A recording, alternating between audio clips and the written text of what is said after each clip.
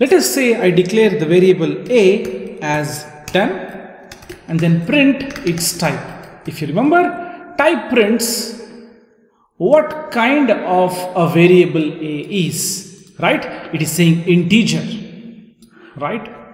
Okay, so uh, I need to tell you people that what we are discussing right now is not very important for a beginner, but then for completeness sake, we need to um, tell you these things.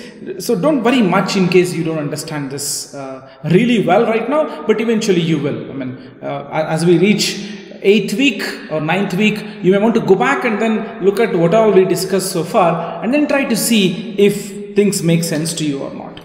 Alright, so this is slightly advanced, but don't worry if you don't understand. But make your um, attempt, share of attempts to understand what I'm saying. So I say a equals 10 and I print the type of it. And now I say a equals India. Okay, and then print the type of A. So what is your guess? Initially it was int, now it became str.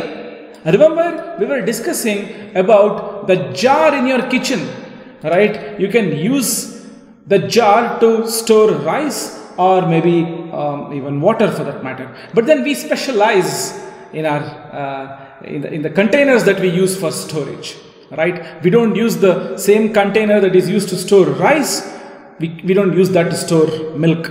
Milk uh, container looks different, is made of a different material and things like that. So similarly, a computer tries to store an integer type using a different kind of a memory location and string in a different kind of a memory location. Moment you say a equals 10, it automatically creates, what does it do? It creates a particular data type. By data type I mean the memory location where it where the value of A is stored. Right and the moment you say A equals India of course it loses the value of 10 that it was initially assigned to but then it becomes of the type string.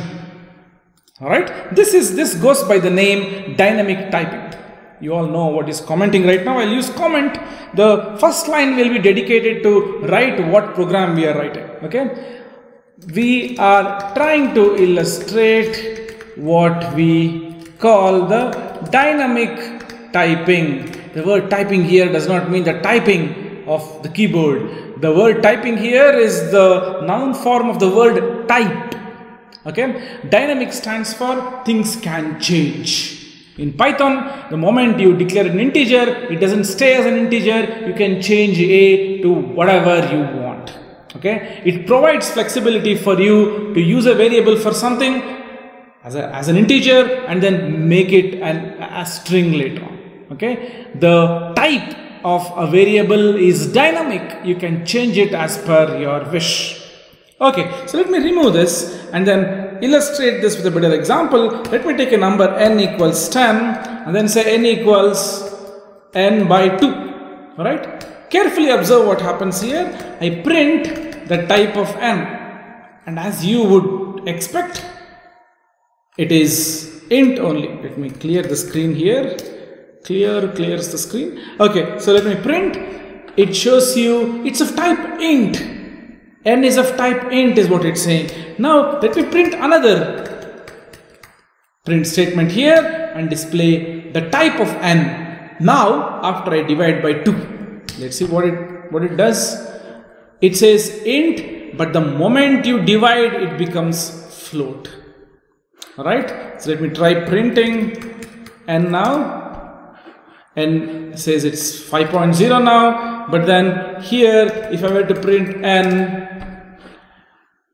it is it says 10 it doesn't say 10.0 but the moment you divide by 2 it, the, the moment division happens, it realizes that, oh, oh, now the integer might become a non-integer. It can become a, a rational number or some real number, you know. So let me be careful. Let me allocate, let me deallocate that integer. Let me try to allocate something um, that, that is easier for me to contain this object. It could be a real number, so I will use float. Float stands for real numbers in, uh, in the language of computers. Int is integers 1, 2, 3, 4, 5. Float is 4.3, 7.61. All that comes under float.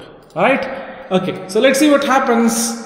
What does Python do even if we divide by 1? Even if we divide, the moment you use the division operator, Python makes the number, makes the variable float from it being int.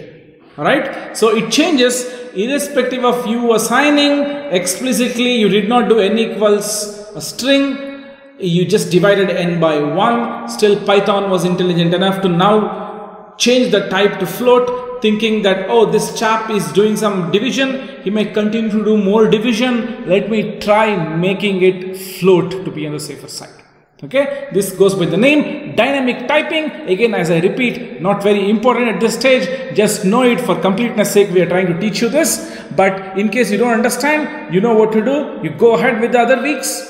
I mean, confidently, but and then come back and then try to look at these things. This will make more sense once you start coding extensively.